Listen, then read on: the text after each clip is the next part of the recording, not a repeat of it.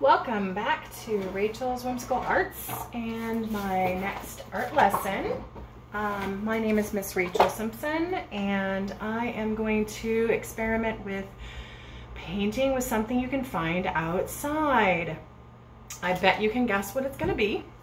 Uh, it's springtime so people are gardening and exploring outside and planting things and looking at bulbs and gardens. Perfect time to play with dirt in a different kind of way besides planting things. We're going to take some dirt that I've collected and you can collect in your yard or in your garden or in uh, plants areas around your house or your home.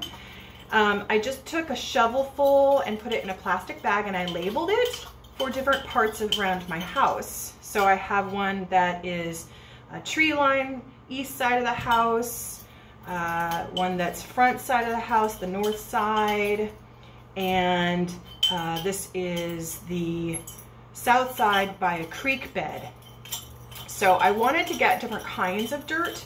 Um, the reason being is because you can paint with pigments and things that you find in nature. Um, back in the day, before we had paints in the stores to purchase and paint with, we had to make our own pigments and find them in nature, whether it was um, or a mud or it was uh, a blue from a flower like indigo um, or maybe pigments from rocks. Then we had to use mortar and pestle and turn into paint. So here we're going to talk about and how to paint and test your paints before you do anything with them.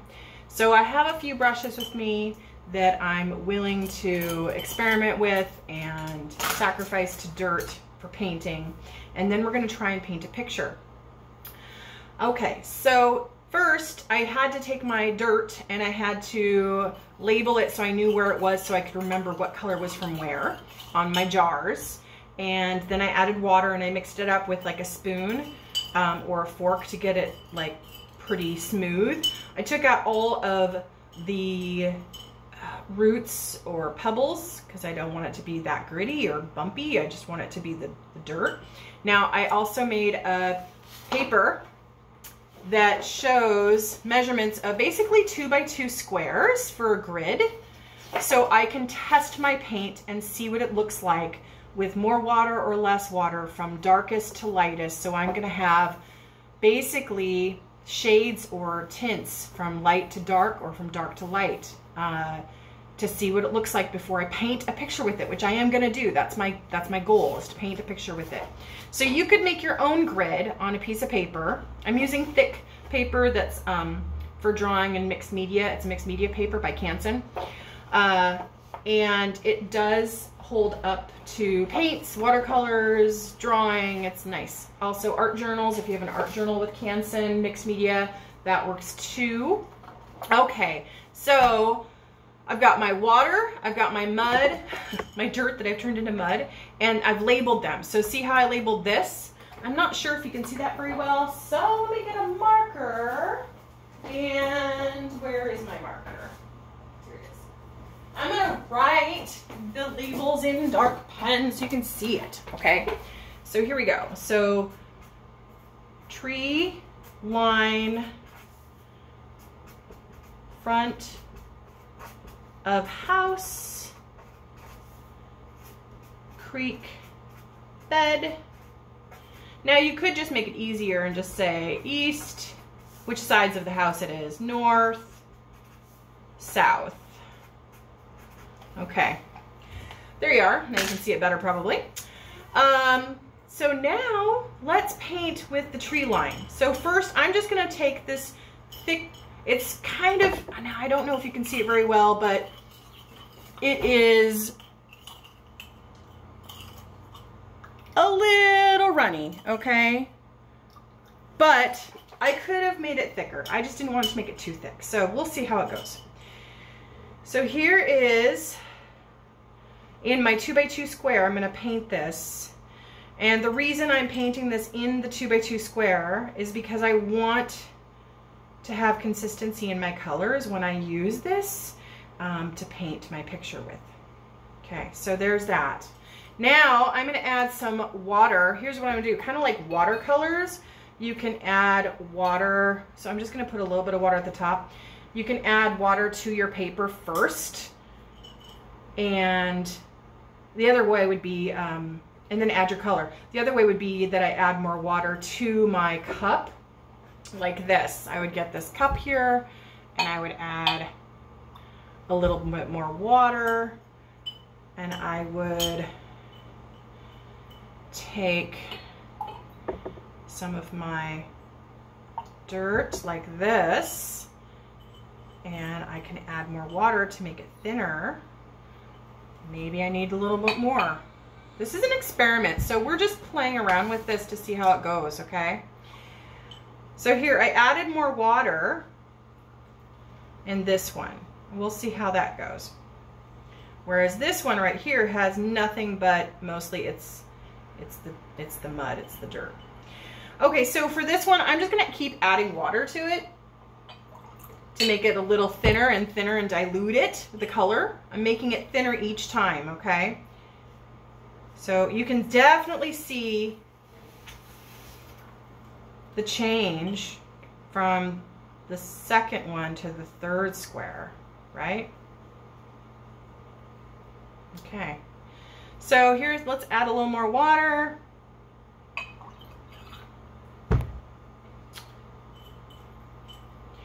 And we're going to start with my paintbrush for the square right here. Okay. Now the idea is to do this for everyone. And you might be thinking, oh, why? Well, painters and artists have to, oops, I need more water, have to test out their paints before they, with the values from darkest to lightest before they paint with it, because it helps them figure out how to mix colors together and how to make their picture and their painting look even better. So instead of drawing with a colored pencil, heavy to lightest, to see the lightest shade to the darkest shade, we're doing it with paint or pigment. In this case, we're gonna do mud.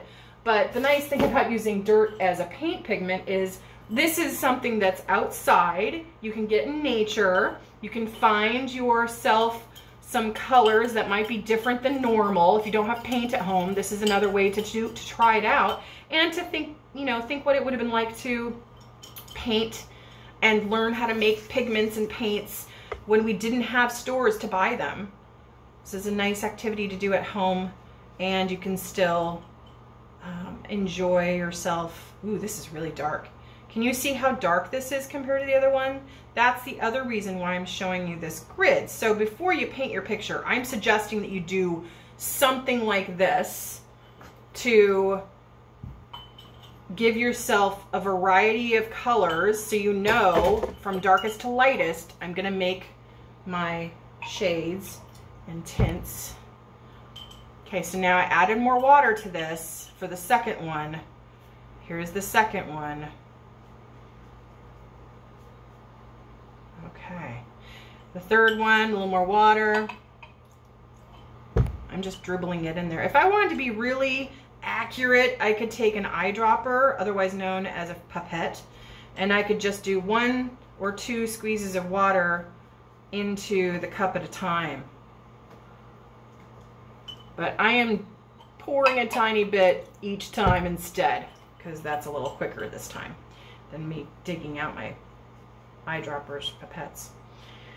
Okay, so it's really pale compared to the first one, that's interesting because it was really dark at the start, wasn't it? All right, last one for this color, which is the front house, the north side. After I do this next row, and I'm gonna go quicker, I'm gonna show you what you can do to paint with it, okay? All right, so there's that one.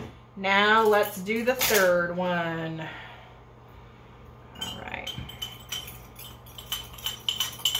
I'm sorry if that makes a funny sound. Okay, first we're gonna paint with the creek bed mud at the top. Let's see what it looks like. Oh, that's a nice color. So yes, we are going to be painting mostly with brown for this experiment, but I have, at the end of this video, stay tuned because I have the results of the watercolors that I made last time with a homemade watercolor recipe. And I'm going to show you how that looks. So that'll be some color to try out too. So when I make paints like this and I experiment, I just have fun with watching how it changes from darkest to lightest because it's gonna make it's gonna help and determine how I paint my picture later from dark to light tones. Now, if I wanted to have, how many squares do I have for each one? I have five. If I wanted to have five shades of this, or tones of this brown for the creek bed, creek bed, then I would need to have five cups for each one. Okay. There's that square. Now, last one, a little more water, and I'll show you what we can paint with it, okay? This will be pretty fun. This is pretty pale. I'm stirring as I paint with it, notice, because this is dirt. So there's some little grit and chunky bits that I have to stir in before I can paint with it. All right. So it's a good idea to stir your brush in the cup of water with pigment each time as you paint with it. Okay, so there are my, this is my test page to see the shades from darkest to lightest. And I really like the fact that this color is much different than this one. I think that the creek bed South is really similar to the front of the house, the north side. Um, there's a tiny bit of a change of color, but not a ton. I'm gonna raise this up so you can see it a little closer. See that? It's, it's interesting. I really, I think this is really fun to see. And it's an experiment. So little did you know, or maybe you didn't. Maybe you did or didn't, but I knew it. Science and math go hand in hand with art a lot of times. I had to use math to do my measurements for my grid with a ruler for two by two inches. And now I'm using some science to make these pigments. Okay, so I am going to scoot this over because I have to have room for my drawing and my painting to show you next, okay? So, carefully move that over without tipping it. Oh, good, no mess. So I drew the start of a butterfly. And um, if you want to do any kind of animals that make you think of the garden, that's what I was going for, was insects and animals that live in the garden with the plants and um, I wish I had a pot, like a flower pot in front of me, but I don't. So instead, I have a jar that I was going to draw and paint as well, okay? Now, glass and jars and vases and things like that are nice because you can see reflections in them and shadows. If you really don't want to do a jar, you could get a flower pot um, and paint that instead.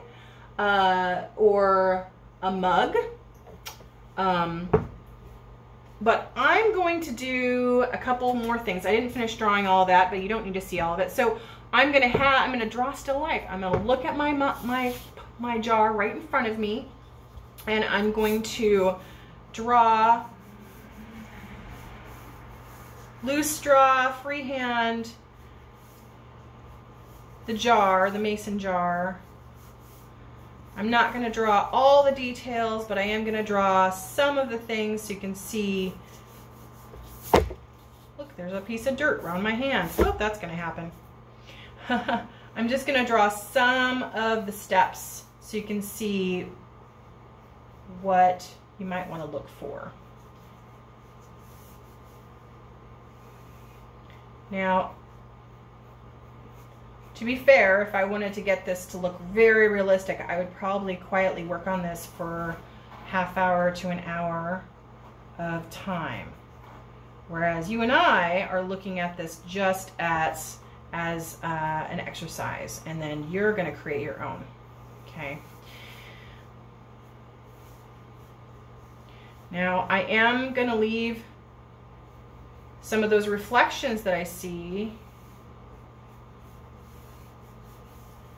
but I'm not gonna do all of the details. So I see some reflections here and reflections here. Okay, so there's just a jar. I'm not gonna finish it. I'm just gonna show you the basics. The reason why is because I wanted to show you the next step. This is kind of fun. We can start to paint with these colors. So I know that my tree line is darkest. No, it's lightest. My darkest might be the, the north side of the house. So I'm gonna use my, let's see, creek bed is the south side, north, and this is east. So I'm gonna use my north side for the darkest. I'm gonna use my east side for the lightest. So, and if I want it to be even lighter, remember you got a jar over here with a cup of water to make, so we should, we should make, make sure that we start with the lightest shade first. And the reason I say that is because if you start with the lightest shade, you can work your way up and get to a darker shade, okay? So the lightest part would be around my jar.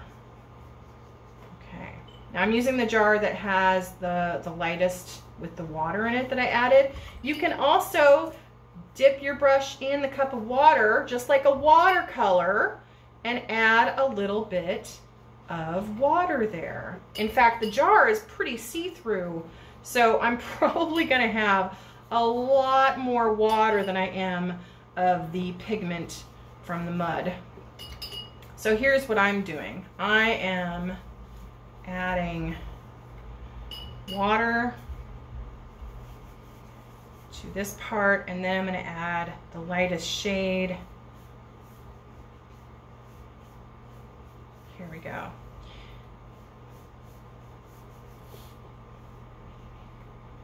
So after you've added some colors, now you can do you can do anything. You could even do a flower. If you want to paint a flower, go for it. Um, you can also choose to draw or paint um, a flower pot or maybe something else like a flower bush out in the yard that makes you think of um, springtime, which is what I was going for right now. I really, I really love spring. It helps me relax when I'm outside or when I'm looking and smelling at the flowers and the trees, going for a walk, and just enjoying the moment outside in nature and just feel feel calm, breathe some fresh air. So that's my inspiration for this painting. Notice I'm using a smaller brush right now and I'm just adding water to my butterfly. Now that means this picture will be in shades of brown. Yes, it will be. But you can still have fun with experimenting with the brown tones. Um, I'm gonna only paint this much of the wing and I'll show you the finished painting next video that I upload, okay? So this is gonna be part one of two. You could put more than one brown in there. That's the other thing that's kind of cool. Um, so here we go.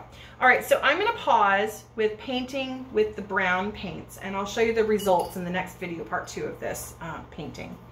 Now, the next thing, oop, there goes the water. The next thing that I wanted to show you though was from our last class session.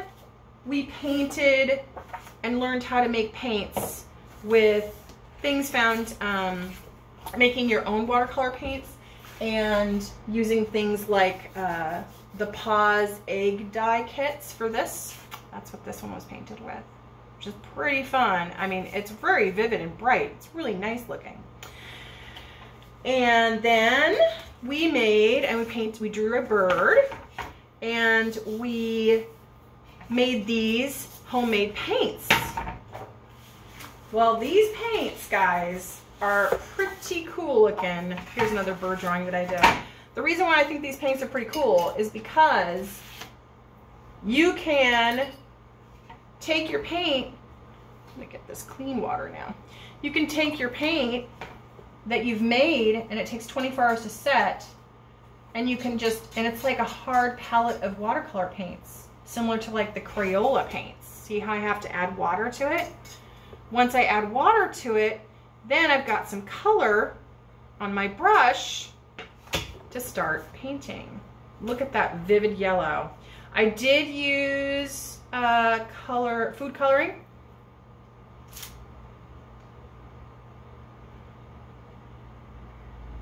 Oh wow, that is so bright.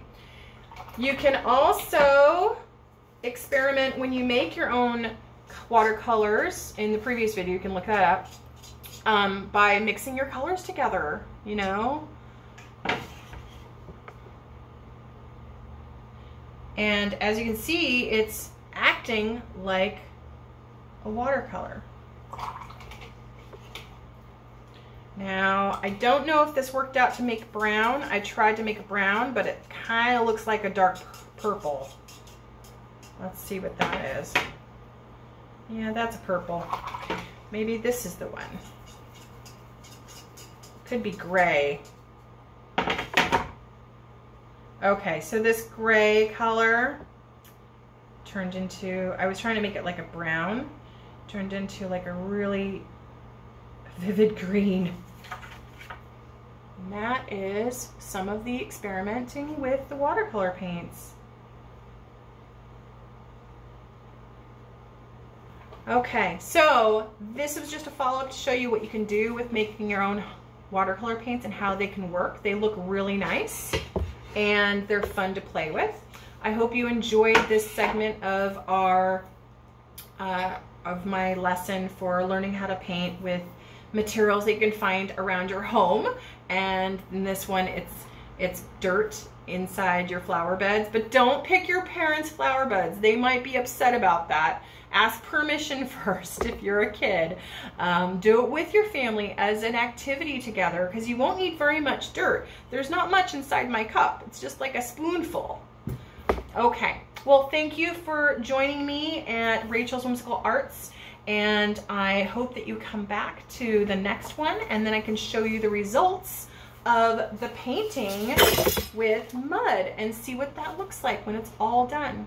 I'm excited to see what you come up with and please feel free to leave questions or comments below and you can find me on uh, online in this YouTube video on Instagram Facebook with uh, Rachel's Whimsical Arts and my website is rachelsimpsonart.weebly.com. Anyways, I appreciate you being here and you have a great one. Thank you so much. Be kind and let's shine.